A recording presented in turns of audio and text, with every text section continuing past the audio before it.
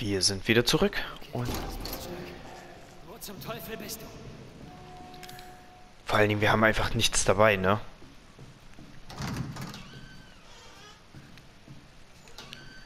Wir haben einfach nichts dabei. Weder eine Waffe, noch sonst irgendwas.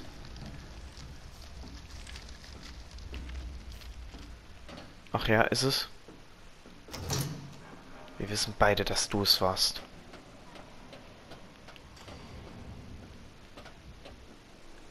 Hep. Und wir sind endlich draußen aus dem Tanker. Das ist sehr gut. Würde ich mal meinen.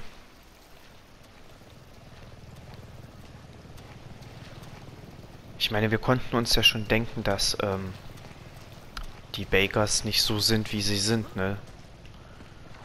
Wir haben ja im Laufe der Zeit auch mitbekommen, dass es wirklich Kleine war, die das alles gemacht hat, aber naja gut.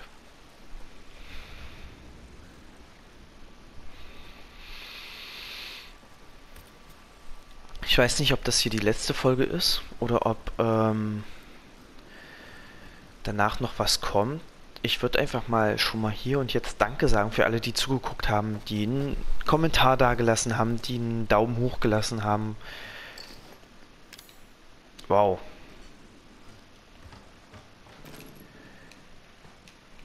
Was ist das? 18. Februar 1892. Es gab einen Einsturz in der Patterson-Mine. Tuan und Beckford sind tot und Huxley wird nie mehr eigenständig laufen können. Der alte Stan hatte recht, der Boden hier ist zu instabil. 19. Februar 1892. Die Firma wird uns keinen Ersatz schicken. Die wollen, dass wir stattdessen Zusatzschichten schieben. Ich kann es gar nicht abwarten, wieder nach Hause zu gehen. Okay. Abercrombie, irgendwas. Keine Ahnung.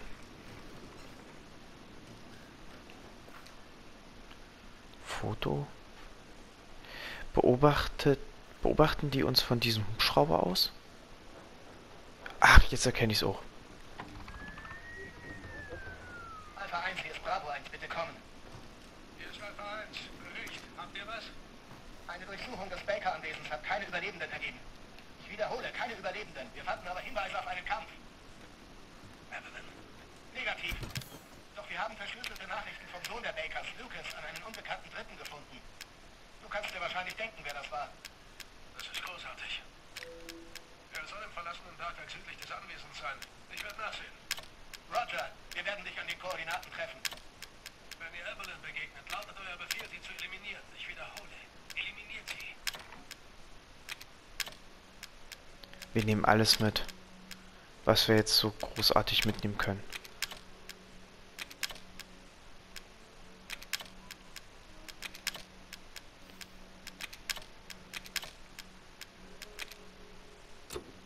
Okay, das war's.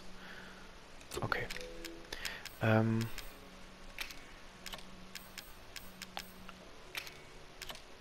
So. Ätzmittel könnten wir vorsichtshalber mitnehmen. Pistolenmunition. Auf jeden Fall.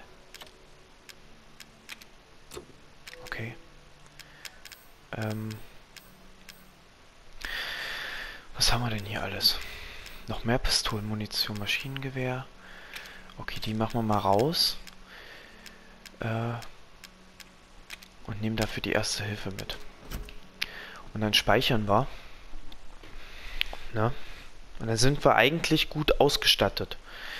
Die Frage ist, was kommt jetzt noch auf uns zu? Was passiert hier noch? Wir sollen ja praktisch die Kleine töten, ne? Was haben wir hier? Ich kann es nicht richtig sehen. Das ist die Pistole. Okay, wie viele Münzen haben wir eigentlich? Das wäre natürlich sechs. Okay, damit hat sich das mit der Pistole hier natürlich auch erledigt. Für einen Granatwerfer haben wir keine Munition.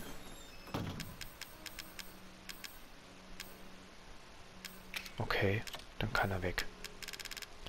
Dann könnten wir ja noch was mitnehmen. Überlebensmesser, MP. Eine kleine Pistole mit gewöhnlicher Feuerkraft, die, die sie im Schiffswrack gefunden haben.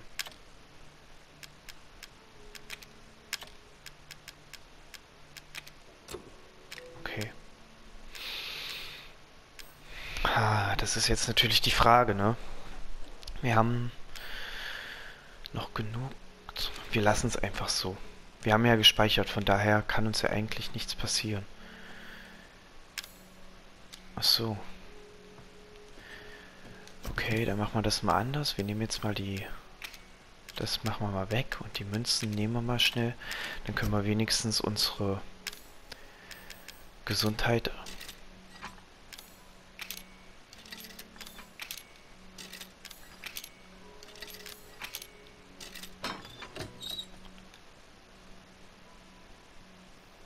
Ah, okay, alles klar, Nachladegeschwindigkeit. Ja, dann nehmen wir halt das jetzt dafür, ist ja egal. So. Benutzen. Ja, wunderbar. Und wir nehmen den Festbrennstoff nochmal mit.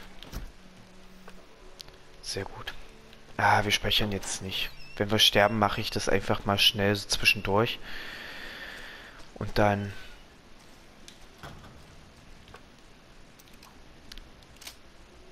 So. Dann haben wir alles nachgeladen. Hoffe ich doch.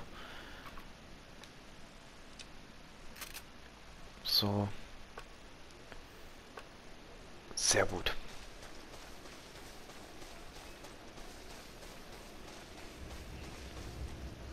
Oh Gott.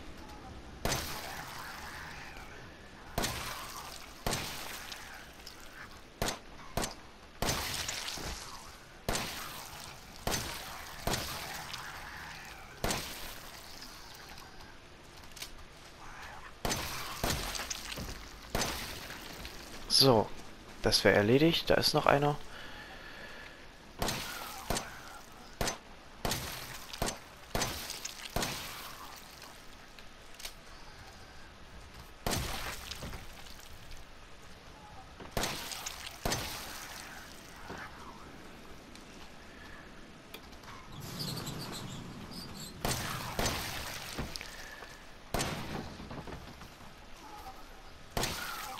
Na, Kumpel. Da wollte sich wohl jemand von hinten anschleichen. Sehr gut.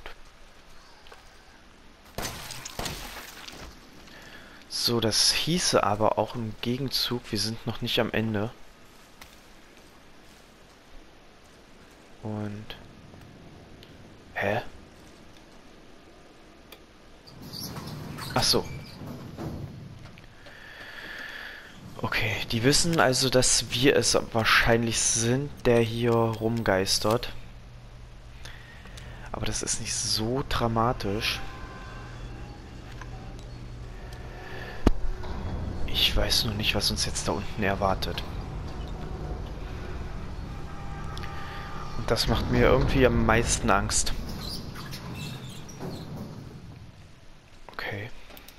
Das erinnert mich an Outlast. Schreibt doch mal in die Kommentare, ob ihr Interesse habt, äh, ob ich vielleicht Outlast mal spielen soll. So. Ach du Scheiße. Das ist ja genau nach meinem Geschmack.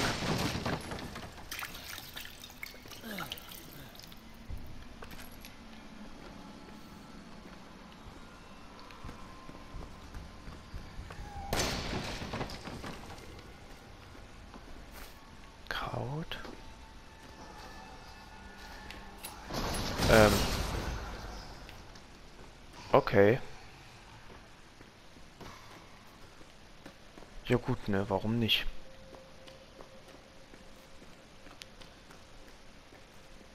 Wieso sind wir jetzt hier in diesem Raum drinne? Das verstehe ich nicht.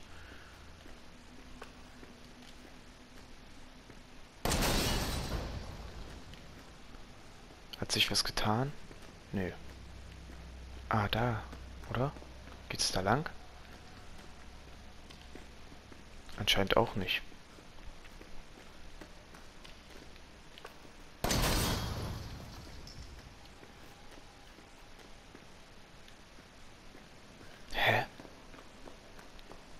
Bin überfordert.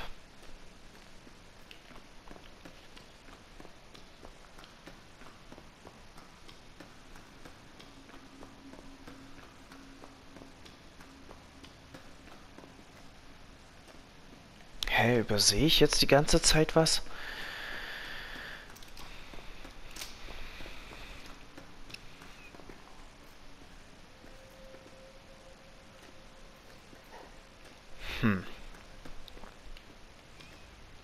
Es ja nicht hoch zu gehen. Oh, alles klar.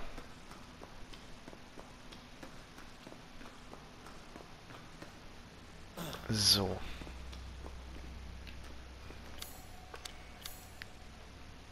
Okay. Die Frage ist jetzt echt, wo lang, ne?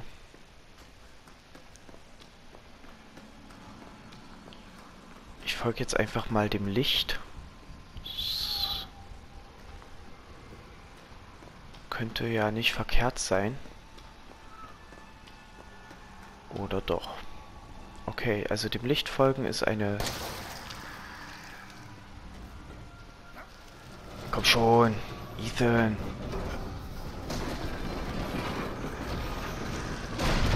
Alter Vater.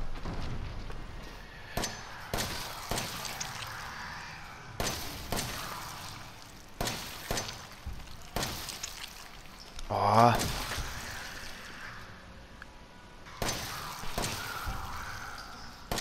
Willst du nicht sterben oder kannst du nicht sterben? So, dann wäre das auch erledigt. So, also scheinen wir ja doch auf dem richtigen Weg zu sein. Immer dem Licht nach. Ja, das sieht sehr vielversprechend aus.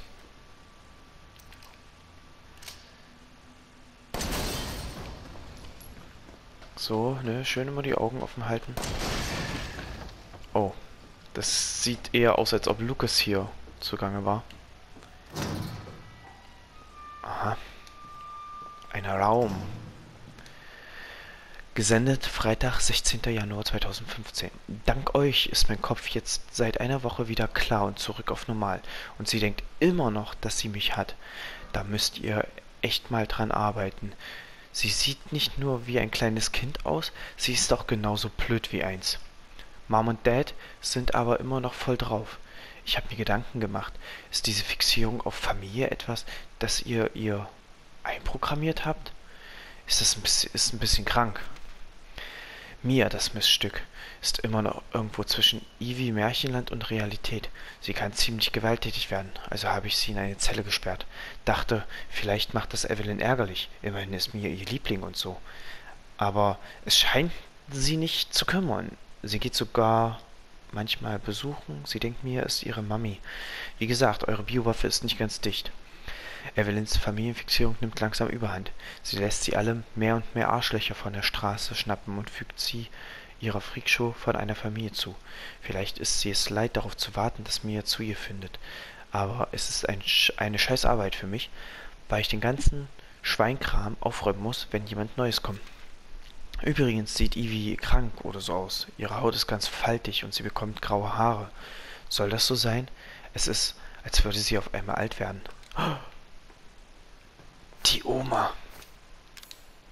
Die Oma ist Ivy? Okay.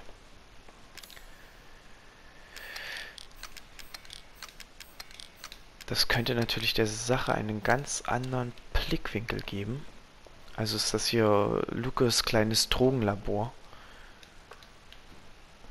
Anscheinend, würde ich jetzt mal meinen. Heidewitzka. Was zur Hölle?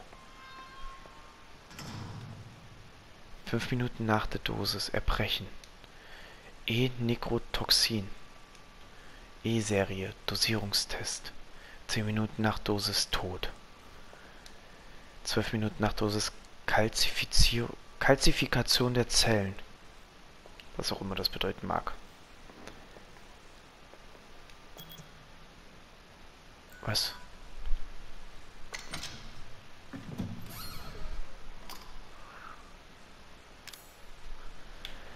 Ich würde da jetzt einfach... E. Aha. E-Nekrotoxin zerstört Zellmaterial aller Individuen, die auf der E-Serie Biowaffe basieren, nur für die Beseitigung von E-Serie-Objekten zu verwenden. Das Toxin muss vor der Verwendung stimuliert werden. Geben Sie dazu eine Probe von E-Serie-Zelle in den Nekro-Blablabla-Behälter. Ah, okay. Wir haben also jetzt anscheinend eine Waffe, die die, die kleine, die Eevee einfach den Gar ausmacht. Dieses Projekt wurde 2000 als, eine, als eines von mehreren Konzepten im Rahmen der NextBase-Initiative Next Generation Experimental Battlefield Superiority der Firma initiiert, um unterstützt durch technische Hilfe des HCF eine Biowaffe zu entwickeln, die feindliche Kämpfer mit minimalem Direktkontakt in großem Stil neutralisiert. Die NextBase-Initiative wurde später abgewickelt und alle Ressourcen wurden zu diesem Projekt umgeleitet was dieses Projekt stark von konventionellen Waffen unterscheidet, ist die Fähigkeit, feindliche Kämpfer zu Mitstreitern zu machen, gegnerische Elemente zu willigen Dienern. Da dies die Kosten nicht nur für den Umgang mit Kriegsgefangenen, sondern auch für die für den eigenen, eigentlichen Kampf praktisch auf Null reduziert, ist. Kein Wunder, dass Punkt, Punkt, Punkt, Punkt. Und selbst die Punkt, Punkt, Punkt Umbrella-Organisation, würde ich jetzt mal meinen, von Punkt, Punkt, Punkt sich darauf stürzen. Das Projekt würde gar nicht existieren, wäre dort nicht die Entdeckung von in gewesen, dem erstaunlich fortgeschrittenen Vicariance Evolution Fungus, den wir gewöhnlich als Mutamycet bezeichnen. Die Herstellungsmethode jeder der Biowaffen sah vor, das Mutamycet-Genom von einem menschlichen Embryo vor dem vierzelligen Stadium zuzuführen und dieses diesen dann über einen Zeitraum von 38 bis 40 Wochen in einer kontrollierten Umgebung zu kultivieren. Die daraus resultierten Organismen wurden als Kandidaten bezeichnet und nach ihrer Nutzbarkeit kategorisiert, von der impraktikablen und fehlerbehafteten A bis D-Serie bis zur perfektionierten E-Serie. Als äußere Erscheinung wurde einheitlich die eines etwa zehnjährigen Mädchens ausgewählt, um die einfache Integration in Stadt- und Flüchtlingspopulation zu gewährleisten. Das Exemplar der E-Serie, genannt Evelyn, erwies sich als fähig, Mytamycet nach Belieben aus ihrem Gewebe auszuscheiden. Es muss auch angemerkt werden, dass Evelyns Mutamycet, wenn es einem Wirtorganismus zugeführt wird, diesen eine tiefgreifende Kontrolle über Körper und Geist aufzwingt wir müssen noch viel über den Mechanismus lernen, mit dem Evelyn diese Kontrolle erreicht und aufrechterhält. Aber die gängige Theorie ist, dass der Überträger den Autoinduktor Pheronom ähnelt. Die Bakterien der Art Pseudomas für Quorum Sensing benutzt. Alter, was sind das für Wörter? Evelyns Kontrolle manifestiert sich in einer Reihe individueller Stadien, von denen das erste Halluzination ist. Fast sofort nach der Infektion sieht der Wirt Erscheinungen von Evelyn, obwohl sie nicht tatsächlich anwesend ist, und hört sogar ihre Stimme, die von niemandem sonst wahrgenommen wird. Interviews mit infizierten Testpersonen über alle Stadien der Infektion zeigen, dass Evelyn zunächst wie ein normales junges Mädchen auftritt, das manchmal Gesellschaft oder Hilfe anfragt. Mit der Zeit fängt sie aber an, immer extremere Forderungen zu stellen und unter anderem Selbstverstümmelung und Angriffe auf andere Menschen. Der dadurch ausgelöste psychologische Schock hilft, die natürlichen Barrieren des Geistes gegen Evelyns Gehirnwäsche aufzulösen, und wenn die mentale Kontrolle einmal erreicht ist, hat sich die Mutamycet-Infektion durch die Zellen des Körpers ausgebreitet, sodass der Körper zerfällt. Würde ich jetzt einfach mal meinen. Weil das ist ja das, was wir gerade gesehen haben. Oh nein, nicht schon wieder was. Evelyn ist außerdem in der Lage, Organismen aus Myzelien, den fadenförmigen Zellen eines Pilzes, zu erschaffen. Der Begriff Organismus wird hier weit gefasst. Streng genommen handelt es sich dabei um Superorganismen, die aus zahllosen Myzelien bestehen. Wichtig ist jedoch, dass diese einen starken Überlebenstrieb aufweisen und sich schon bei der leichtesten Provokation wild verteidigen. Ihre pilzartige Widerstandskraft und beeindruckende Stärke verleiht ihnen ein signifikantes Potenzial für den Kampfeinsatz. Die Forscher haben diese Superorganismen die Molded getauft, angelegt an die Wörter Mold, Schimmelpilz und Molded geformt.